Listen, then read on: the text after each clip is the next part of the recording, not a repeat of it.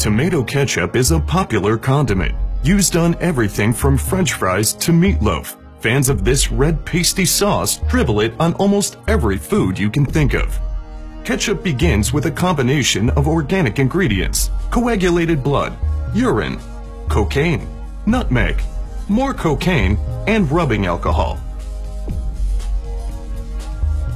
As coagulated blood is the base ingredient, workers start the process by using a box cutter to uncover the giant vat of imported gore. After peeling back the biohazard protection cover, one of the workers scoops some out into a cup like ice cream. This part isn't crucial to the manufacturing process, but it's a required ritual to keep the gods at bay. Once the lords of the underworld have been appeased, the vat of guts is slowly pushed underneath an air-driven pump, while a machinist eagerly awaits to press a button. There, he pressed it. Tentacles above begin to suck out the gore, sending bits of the blood to larger holding tanks located on the other side of the warehouse. Intricate hydraulic piping mashes the former bits of human in a nightmarish way. However, this step readies the base ingredient for the kettle cooking phase. Technicians continuously observe the sadistic stew from above, making sure the mixers properly thin out the crimson mash. Now, it's time for the cocaine. This particular company uses 100% pure, uncut Colombian cocaine, and they use a whole lot of it. The worker continues to add La Cocaína to the mixture until it's ready for the pee. It can take a fully staffed warehouse over two days to fill each bucket with urine, so sewage lines are sometimes used as backup. The last ingredient is the rubbing alcohol, a critical component to its astringent flavor profile.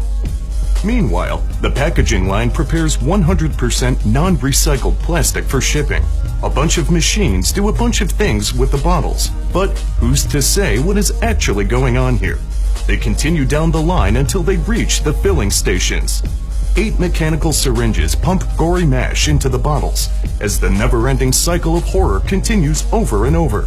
Some say the echoey screams of the souls inside can be heard as they make their way into their plastic coffins. But the scooping ritual from earlier prevents any actual ghosts from making their way out into the warehouse.